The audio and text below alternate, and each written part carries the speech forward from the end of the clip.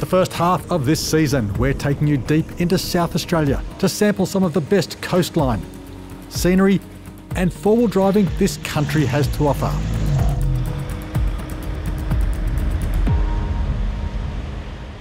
We're exploring the Eyre Peninsula, and it's one of our biggest trips yet. We've come down to the Eyre Peninsula. Finally, we made it. After about two years and being postponed five times, we get across the border and into this beautiful part of the country. I've never been here before, so I'm really excited to start exploring. We came around this corner and it just opened right up. The terrain's been magnificent along the coastline, up dunes, down dunes. Sensational outlook, amazing scenery. Best beach driving you'll ever do in Australia. The boat was being tossed around like a toy. The adrenaline levels once you saw that just rose. It certainly hasn't disappointed. If you love your seafood, this is the place to be. The people, the hospitality, more than anything, just the scenery. Two weeks, but still too short. Where else would you want to be? An absolutely epic trip up there with the best.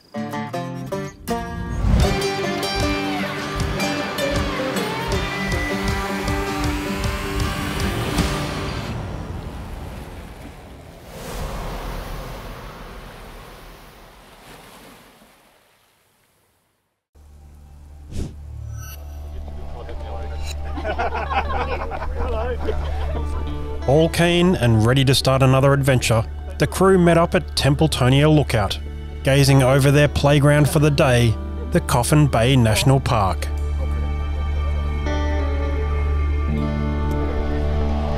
With an action packed 10 days ahead of them, not even the grey skies could dampen their spirits.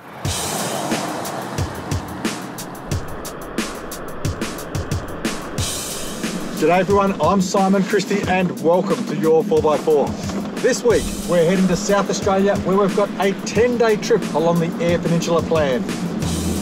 For this trip I've bought two important accessories. Number one is my wife's shoe min. She'll definitely be keeping me on track. And number two is the big Iveco which is fully kitted out for this sort of long distance remote touring. Andreas and Lisa, great to have you along for another trip. Yeah, it's really great to be here, Simon, after so many attempts to get onto the Eyre Peninsula that we finally made it. After about two years and being postponed five times, we finally get our much anticipated visit to the Eyre Peninsula in South Australia. Jeff, you've come the furthest. How was your trip down?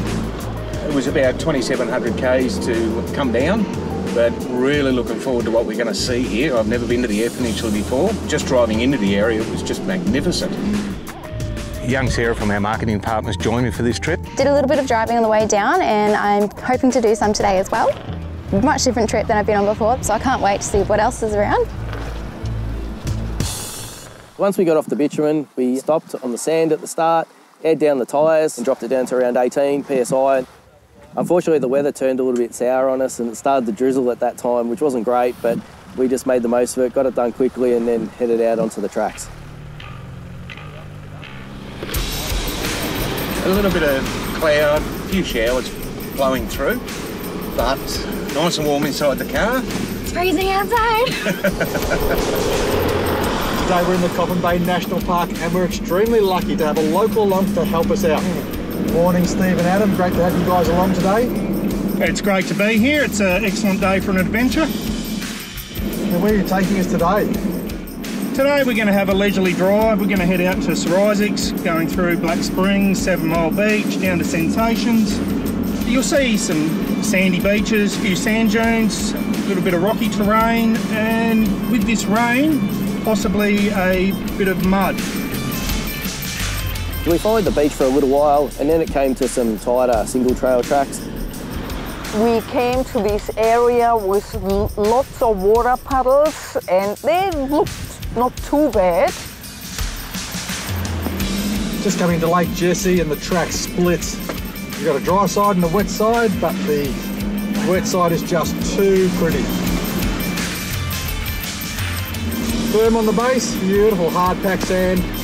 So I watched Simon hit the water, and he hit it pretty hard. Through like the third puddle, it was quite deep, and I thought if he's going through there, I'm not going through there. Oh, that one's a little deeper. Grant, what's that one just before the outlet? She's a little deeper.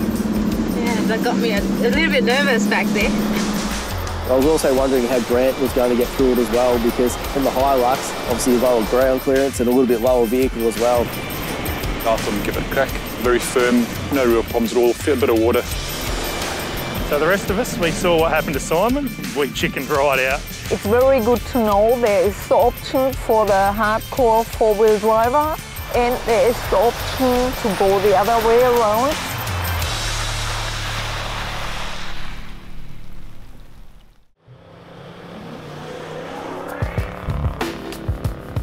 Once we finished the first little section, we then headed up the first little real dune. It can be very compact, very firm. It was a little bit bumpy, bumpier than I'm used to and more than what I was expecting. You've got the undulations up and down. I sort of hit that with a bit of pace, which was exciting. There's also the corrugations in the road. Just slow the vehicle down a little bit to conquer them pretty comfortably. And the Raptor's got good suspension anyway with the Fox shock, so it's set up quite well to handle that terrain.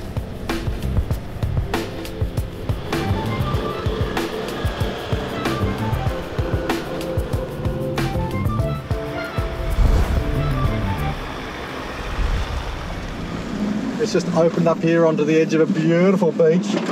Looks awesome. Wow! We were right beside the coastline and it was so picturesque to look out. And a couple of big downhills. As you come over, you could see the bay out in front of you. It was absolutely stunning. Looking right across to those mountains there gives you a really good indication of how different the terrain is, how stark the contrast in the scenery are. We had beautiful Coffin Bay on the right. Clouds were clearing, sun was coming out. We didn't get to see much in the ocean. That's more across to the left over the dunes. Being a national park, not really allowed to drive in those, so we stuck to the track. And as we drove, the views just got better and better. Andreas and Lisa, how's the scenery so far for you both? It's really a new experience. I dare say we'll see plenty of wildlife along the way. What are you going to do if you see an emu? Jumping out and trying to film it. Coming from Germany, that's something very special for us, especially for me. I love animals. Mm, Let's say the sand dunes here and also the vegetation on the sand, unbelievable. Yeah, I just drove past a tree. On the beach side, yeah, it's usually just shrubbery. In Queensland, unfortunately, we don't have much vegetation on the dunes, and that's where we get the erosion. Ironed out and went through to a bit more of a rock, sandy type terrain. Here we go.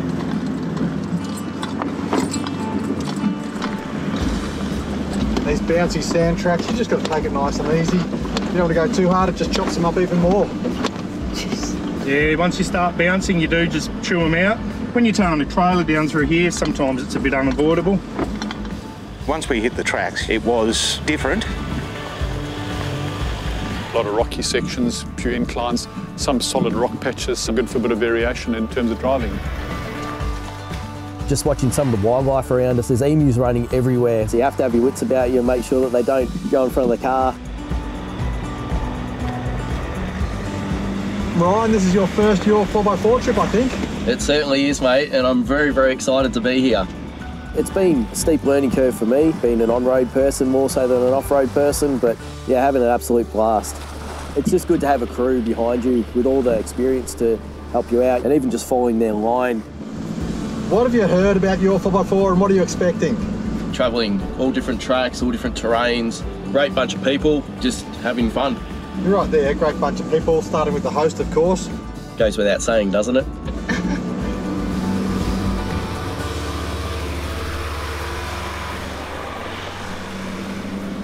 This here is looking like a whole nother world.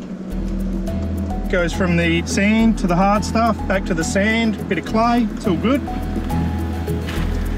The park has done a lot of work to this track. There used to be a lot of ponies out through this park, the Coffin Bay ponies, and they decided they were doing too much damage to the vegetation and decided to pull them out. So to get them out, they had to upgrade this track to be able to bring the tractors and the trailers down to pull the horses out.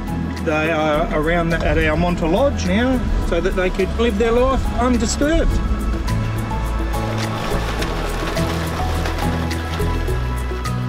This park, it covers all bases for people. You've got your rock, your soft sand, your hard sand, your bumpy sand and your mud. Let's say a nice experience and a good start of the journey.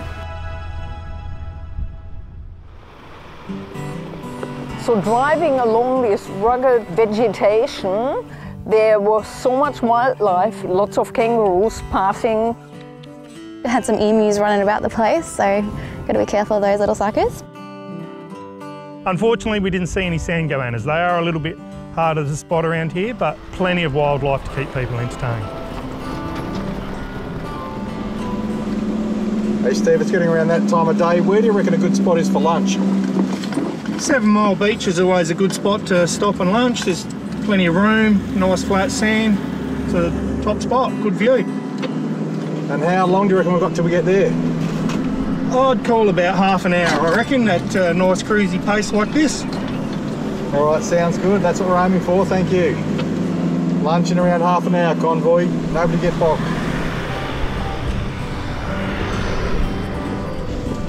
Bit steep down through this section, guys. A few wombat holes at the bottom.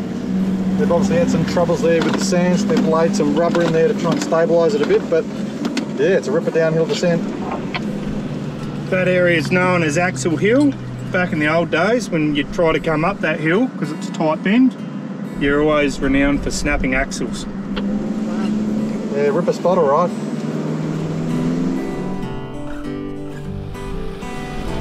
Oh wow, we just hit the beach. Unbelievable. This looks awesome. Yeehaw, that bloody does look good. Wow, and we're so close to the water. Go for a dip. There you No. We're right on the beach, ladies and gentlemen. Once we got down onto the beach, wow, you know, you wouldn't believe where you were. Have a look at that. Just beautiful. Yeah, absolutely stunning. You start to get a glimpse of the ocean, and then you come around the last bend and bang, you're on that beach. And from that beach, that view is fantastic. All right, can we turn off all the cars and just enjoy that water? That's just so peaceful. Sure is. No better sound, I don't think. This magnificent vista that you can see the beach on either end just stretches for miles and miles. Crystal clear water, beautiful clear beach sand, and not a vehicle in sight, which is really great. Now, it's not just feeding ourselves when we're out here, we've got to feed the crew. So the Mike fridges, the Clearview fridge slides, and the Clearview protectors really combine to make my job a lot easier when I've got to whack together six, seven, eight, nine, ten sandwiches and keep the adventure rolling. So guys, invest in a good quality fridge and go for a good quality fridge slide that allows you to access and really get the most out of your fridge. Yeah, after the lunch break, we then continued on the beach. Quite a nice ride there, and I must say, I always thought as a Queenslander, nothing beats Fraser Island, but this was really quite spectacular. And I was really excited because I've never done any beach or sand driving before. Here we go, first obstacle for Sarah. On the beach. Follow his lines. Talk to me like a five-year-old.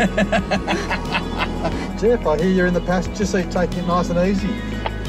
I am, I'm sitting back relaxing. She's doing a wonderful job. And the terrain has been very different to what I've been used to up in Brizzy. Uh, Brizzy, it's a lot of dirt and mud, that sort of thing, but being in the sand, it's been great to have a different experience. Looking out to the right here, honestly, with those islands out there, it's a little bit like the Whitsundays, except the temperature, obviously. Those cliffs you can see way, way out there, that's where they filmed the movie Gallipoli. Oh, really? Oh, wow, well, that's a bit of a fun fact. Yeah, Steve, our illustrious guide, was telling me that.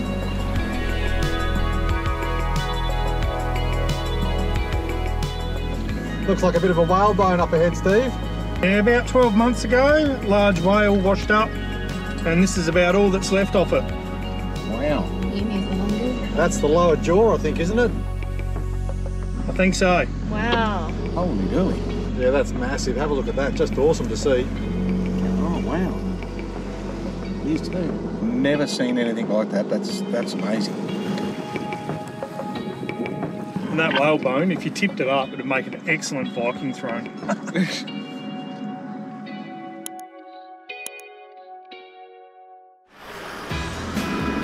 Are we going in convoy or one at a time, Simon? Oh, we're going to get up as much speed as we can, so everyone go. Go wherever you want. Lefty for dead. Cameraman's running.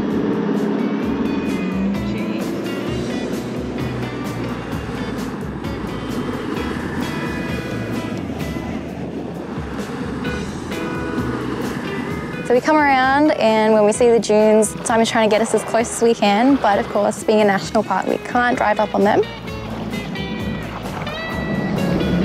We all jumped out and just stood back, had a look around, took some photos, and God, the dunes were so massive, the cars just looked tiny in comparison. So it was quite a sight to be seen, and I would not be able to see that in Brisbane. Getting a little bit tight through here, guys. Not a lot of room. Come through.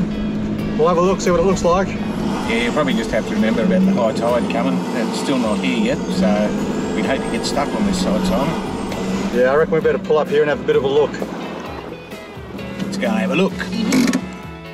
It's been an awesome day driving, exploring the Coffin Bay National Park. Have a look at this, just absolutely stunning. You'd be in the Bahamas, you could be anywhere. Just have a look at this. The weather turned out to be really a magnificent day and, and one of the places we stopped, uh, Jeff and I decided to get our rods out, get the line wet and see if we could catch some dinner. So at this stage, Grant from Piranha has lost three lures. Jeff's already onto his second lure, but still reckons there's a chance he can catch something. I don't reckon we've got any hope, but they're giving it a crack, so we'll give them a couple more minutes, see how we go. Jeff and Grant, they tried. Best of luck them, they tried, but unfortunately Jeff didn't catch us dinner, so I'm not sure what we're eating tonight. I hope he's got a second plan, but we'll see. Fingers crossed. I think there's a bit too much water mixed with them at the moment, but it's only day one of 10, so we intend to catch a fish on this trip. Yeah, that's not looking real safe. We've got dunes coming down nice and steep. We've got water lapping into the wheel tracks. And beyond that, not a lot of beach left. So it's coming in really close to high tide. I reckon it might be time that we, we turn around and head out. The tide has already come in over our wheel tracks. It's coming up pretty quick actually. It's time that we hightailed it out of here. All right, convoy, let's get ourselves out of here. That water's coming in quick. Almost there, almost there. So we really thought it was the right time to go because as we drove off, we could see that the rising tide was already sweeping onto our tire track. So it was time to leave and get back to our camp. This route is used by a lot of surfers. It's apparently a very good surf spot at the end, which probably a secret spot. The transit through here is fairly straightforward. There are one or two tricky areas. One of them we came through this narrow section, sort of sand dunes on the side, sort of very firm sort of cliffs before we got to the top of the crest and there's a very steep decline. Here we have Axle Hill, they call it. People break axles, so we're low range, rear diff lock on, gonna take it steady and see here we go sensibly they put down some rubber matting on that sort of section of the track just to make sure that it doesn't actually get too degraded. Oh, this will be your first big hill, sand hill.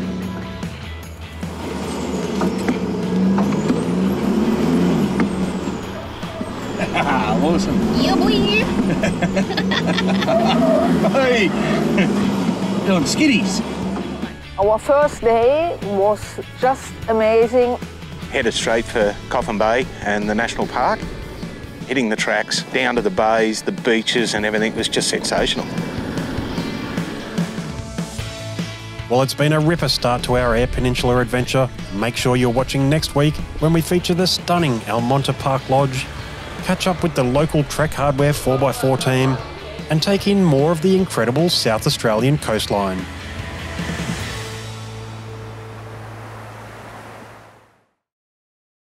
No worries, just let me finish my mouthful of food. Just so unprofessional. Find out. The one is definitely off. Mm. Just cold.